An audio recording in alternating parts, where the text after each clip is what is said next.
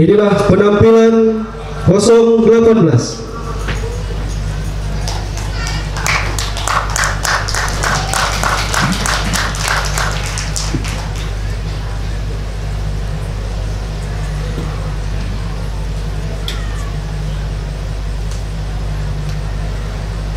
Assalamualaikum warahmatullahi wabarakatuh.